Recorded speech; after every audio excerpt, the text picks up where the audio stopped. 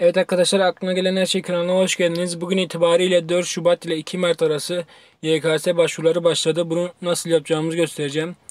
İnternete giriyoruz arkadaşlar. Chrome veya Google'a giriyoruz. Arama yerine ÖSYM yazıyoruz arkadaşlar. ÖSYM yazdıktan sonra ilk çıkan ÖSYM sayfasına tıklıyoruz. Buradan sağ üst köşede 3 çizgiye tıklıyoruz. E işlemlerden aday işlemlerine tıklıyoruz arkadaşlar. Burada yeni bir sayfaya yönlendirdi bizi. Burada arkadaşlar 2020 YKS başvurusu var. Burada sağ tarafta üstüne tıklıyoruz. Buradan başvuru yap çıkıyor. Başvuru yapa tıklıyoruz. Burada eğer e, ÖSYM'de giriş şifreniz yoksa E-Devlet ile kayıt olabilirsiniz. E-Devlet şifresi almanız gerekiyor PTT şubesinden. Ben E-Devlet ile giriş yapacağım. E-Devlet şifrem var. Şimdi videoyu durduruyorum. Bir daha başlayacağım. Arkadaşlar girdikten sonra başvuru sürecindekilere basıyoruz. Burada 2021 YKS'yi seçiyoruz. Ee, öncelikle ilk defa ÖSYM'ye giriş yapıyor. Sonra şu sol alt kısımda HES kodu bilgilerim var. Buraya tıklıyoruz. HES kodu bilgilerinizi girmeniz gerekiyor arkadaşlar. Yoksa e, ben girmişim şöyle yani geçerliliği en az bir yıl olması lazım sınava gideceğiniz vakte kadar.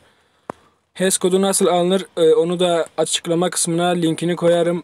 Kanalımda da var. Videolara girip bakabilirsiniz oradan SMS yoluyla.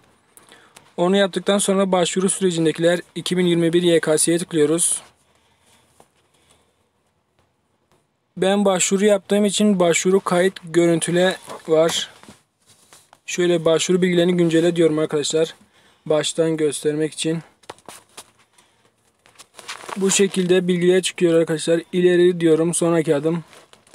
Buradan il ilçe giriyorsunuz. E-posta, telefon numarası. Sonraki adım. Burada okulunuzu seçiyorsunuz. Sonraki adım. Burada e, öğrenim durumunu ben şu an yüksek öğretim okuduğum için yüksek öğretim yapmak zorundayım. Yoksa olmuyor. Burada e, din kültürü dersi alıp almadığınızı, hangi yabancı dil hangisi olduğunu İngilizce yazıyoruz.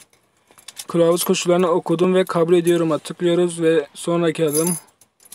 Burada gireceğiniz oturumları seçiyorsunuz. Ben üçünü de seçtim. Sonraki adım. Sağlık durumu herhangi bir engel bulunmamaktadır. Sonraki adıma basıyoruz. Ve buradan başvuru kontrol ve ön izleme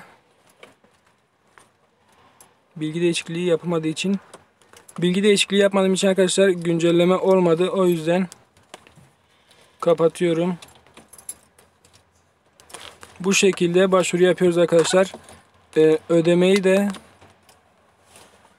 bir dakika geriye basıyorum. Şurada üstüne tıkladım ama şurada buldum. Şurada arkadaşlar ödeme bilgilerine tıkladıktan sonra ödemek için şuradaki linke tıklıyoruz. Yeni bir sayfa açılıyor. Buradan başvuru türünü seçiyoruz. YKS hangisi? Şu. TC kimliğinizi giriyorsunuz. Ondan sonra şöyle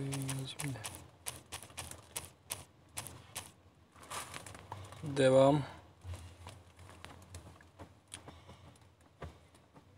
270 TL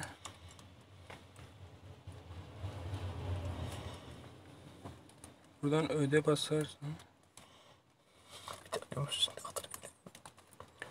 Burada arkadaşlar herhangi bir e, kartınızın kart numarası, son kullanma tarihi ve güvenlik numarasını girerek bu şekilde ödeyebilirsiniz.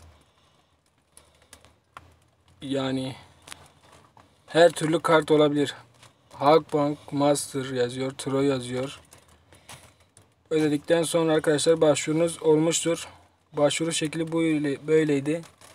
Kanalıma abone olmayı unutmayın arkadaşlar. Tekrardan teşekkür ederim.